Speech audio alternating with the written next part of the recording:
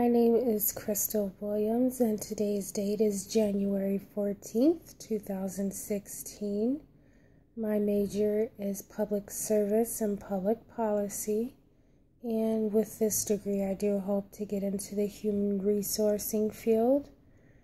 Um, I chose this course because, like Professor Wenzel said, communication is very important, especially to employers and I do hope to be able to communicate with my employers um, how much I do want the job. Um, I want to be able to exhibit the communication skills that I do possess.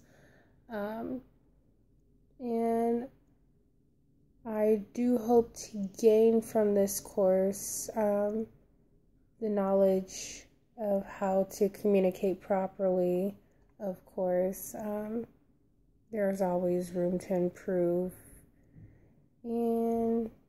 an interesting fact about me is that I absolutely love the number 452.